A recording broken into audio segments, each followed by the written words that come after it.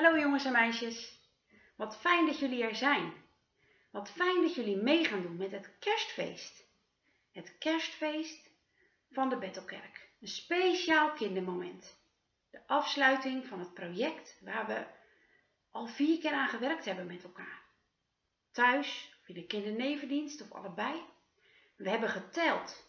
We hebben de kaarsen aangestoken. We hebben gezongen.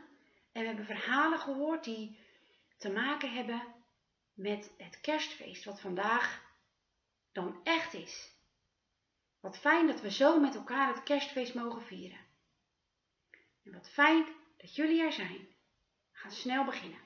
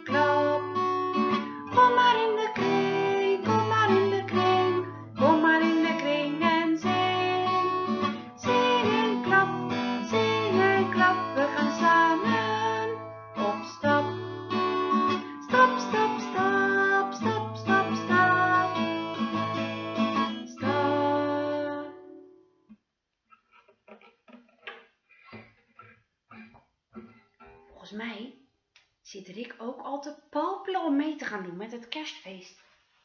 Hé hey Rick, wat goed dat je er bent. Ja, natuurlijk. Ik hou wel van feest. Ja, het is een bijzondere dag vandaag, hè?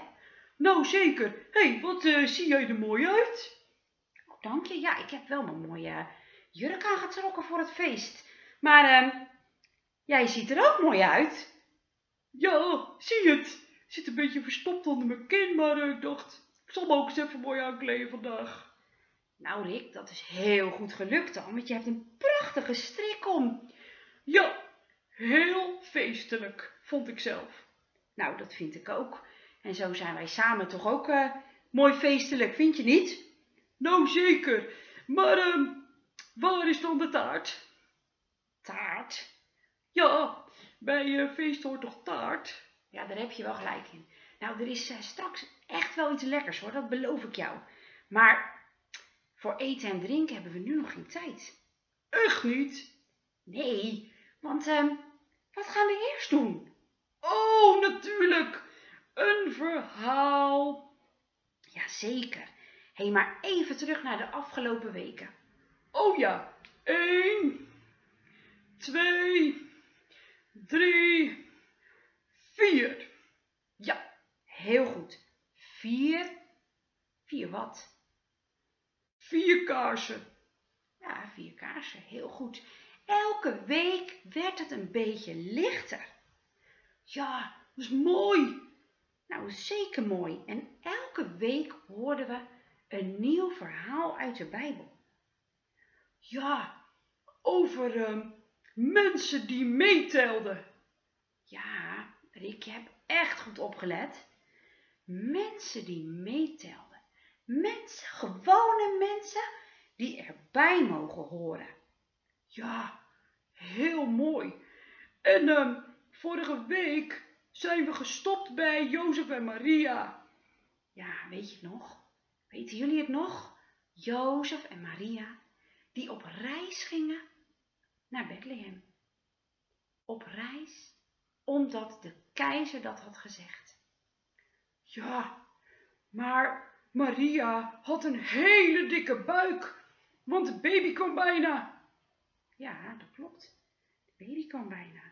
En zij moest die hele lange reis maken. Nou, Rick zegt dat. Hé, hey, wil jij weten hoe dat verder gaat? Jazeker. Nou, kom lekker zitten. Dan ga ik het vertellen.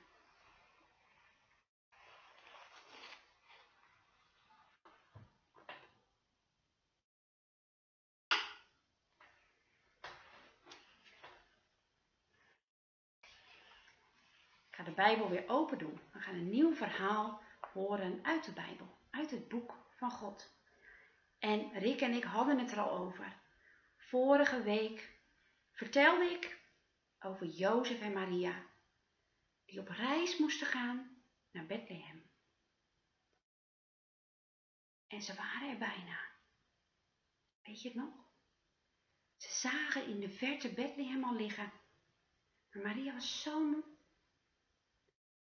Vandaag hoor je hoe dat verder gaat.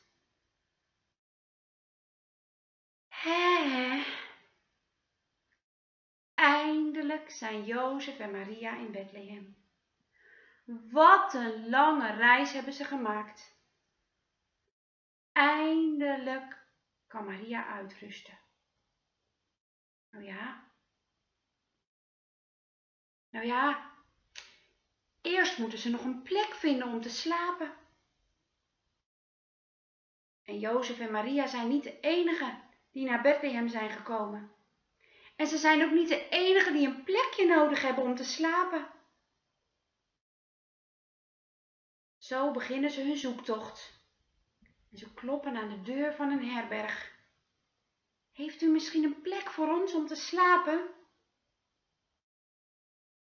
Nee, sorry. Vol. Alle bedden zijn bezet. Dapper stappen ze door naar de volgende. Hallo? Heeft u misschien een plek om te slapen? Vol. Helemaal vol. Jozef en Maria geven niet op. En weer kloppen ze aan. Heeft u misschien een plek voor ons om te slapen? Wij zijn zo moe, hebben zo lange reis gehad. Nee, alle bedden zijn bezet, alle kamers zijn vol.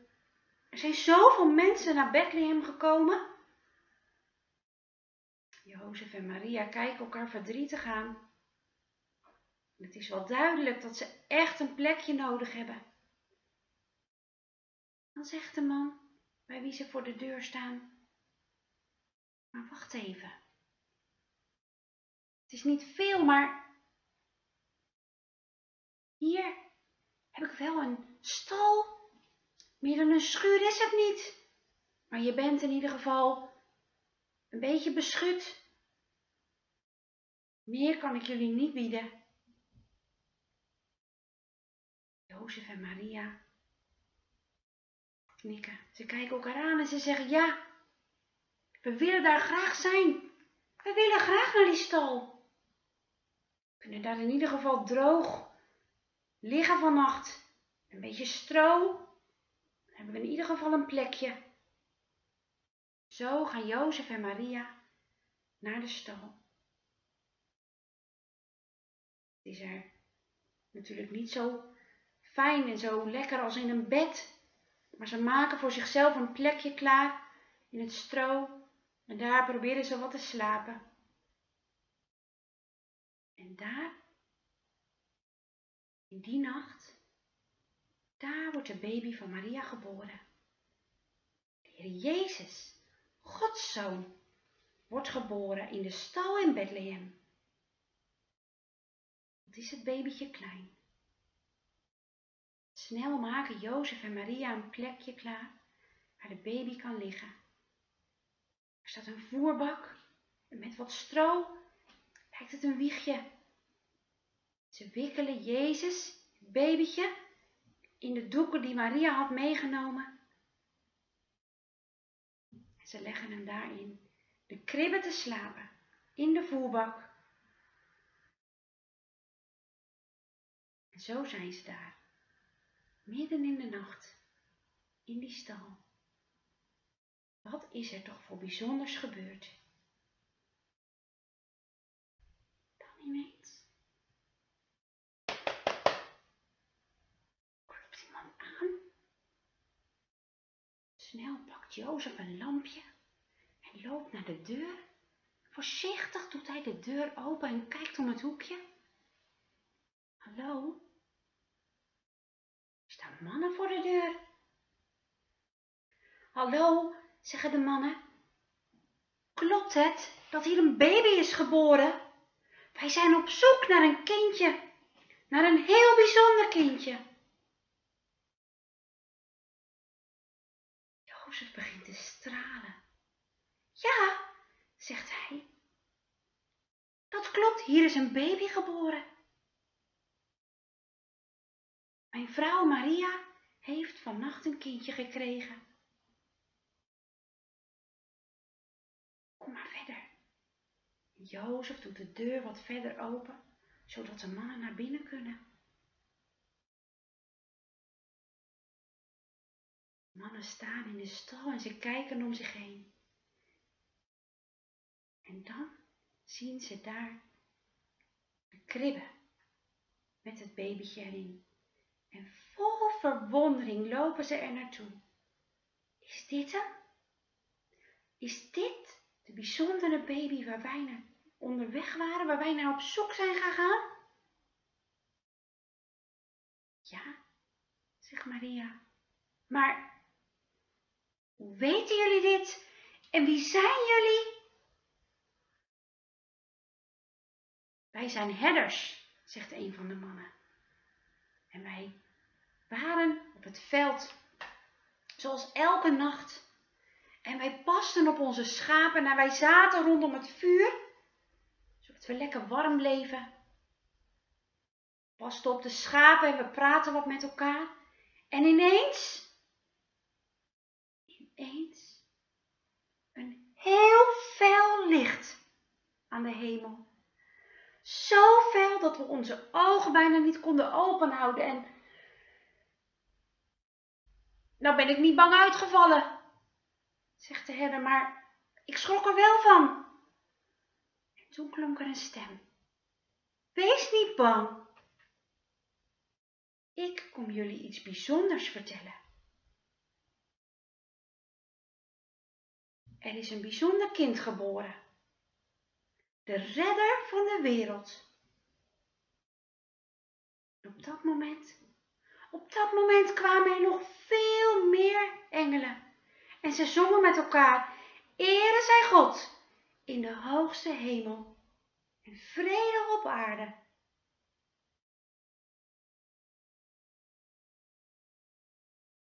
En jullie zullen begrijpen dat het heel bijzonder was en dat we er stil van waren geworden. Gaat de herder verder engelen gingen weg en wij keken elkaar aan. En we zeiden, wij moeten naar dit bijzondere kind op zoek gaan. En nu zijn we hier. Maria zegt, dit is het kindje wat jullie zoeken. Dit is Jezus. En Jezus betekent God red. Dit kindje is een bijzonder kind, de redder van de wereld. Herders kijken nog steeds verwonderd. Wat zijn ze blij. Hun hart is zo blij. En dan kijken de herders elkaar aan en ze zeggen, wij kunnen hier niet blijven. Wij moeten dit aan iedereen gaan vertellen. En zo, zo gaan de herders de nacht weer in. En zo gaan ze aan iedereen die het horen wil vertellen dat Jezus is geboren.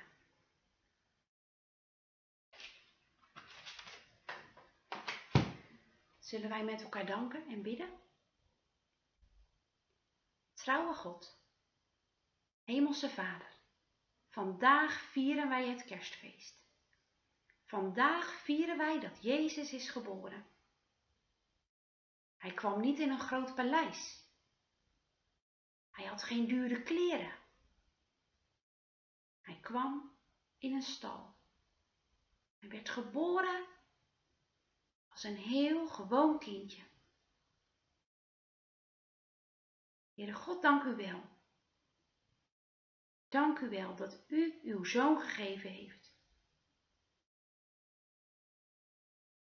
Heer en de vader en moeder van Jezus, Jozef en Maria. Waren niet belangrijk. Ze hadden geen groot huis.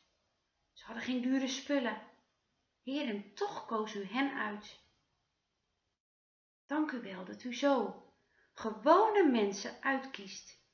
Dat gewone mensen bij u meetellen. Dat ze erbij horen. Heere God, en dank u wel dat wij ook zoveel jaren na de geboorte van de Heer Jezus opnieuw het kerstfeest mogen vieren. Dat de Heer Jezus ook voor ons is geboren. Heere God, we willen u bidden. Wilt u ons een heel fijne dag geven? Wilt u ons een fijn feest geven? Heere God, wilt u ook zorgen voor mensen die verdrietig zijn.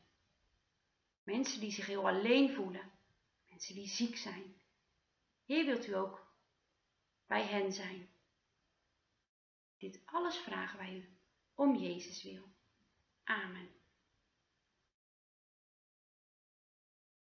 De afgelopen weken hebben we steeds een uh, lichtje in de kerk erbij aangestoken. En zagen we ook elke week een nieuw plaatje achter in de kerk staan. En we zagen de plaatjes ook op de biemen. En het werkje van vandaag, even opzoeken. Daar zien we eigenlijk alle plaatjes van de afgelopen weken bij elkaar in een ster. En thuis kun je hem uitprinten en dan kun je die ster mooi inkleuren. Ik laat hem even zo aan jullie zien. Dan zien we ook de plaatjes die passen bij de verhalen van de afgelopen weken.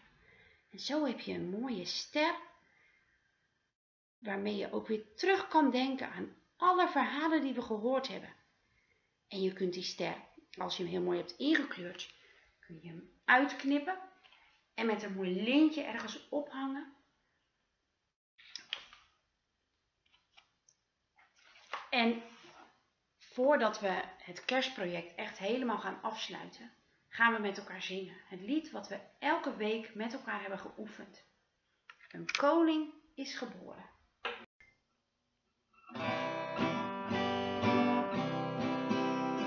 Koning is geboren,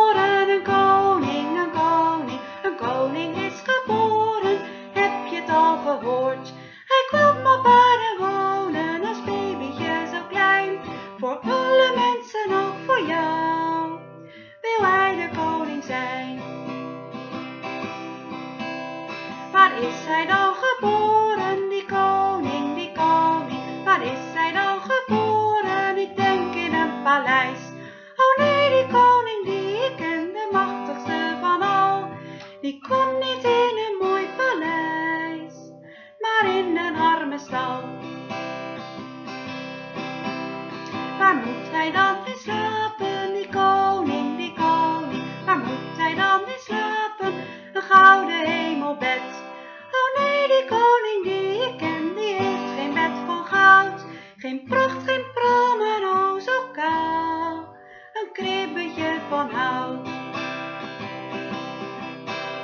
Wat draagt hij dan voor kleren, die koning, die koning? Wat draagt hij dan voor kleren, een jas van hermelijn? Nee, die koning die ik ken, die heeft er zelfs niet één. En ook geen hemdje van satijn,